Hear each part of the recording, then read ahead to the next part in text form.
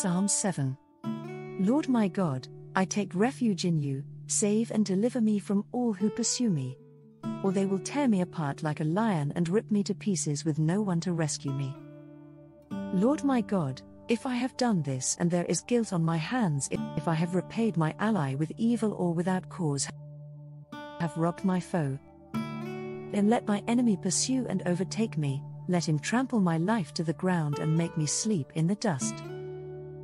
Arise, Lord, in your anger, rise up against the rage of my enemies. Awake, my God, decree justice. Let the assembled peoples gather around you, while you sit enthroned over them on high.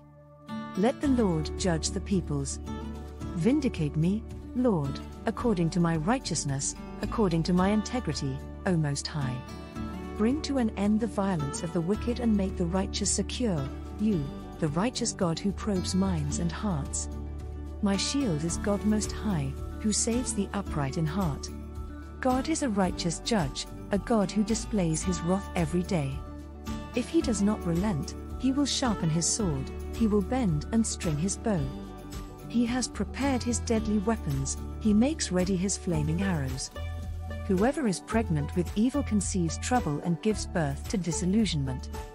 Whoever digs a hole and scoops it out falls into the pit they have made.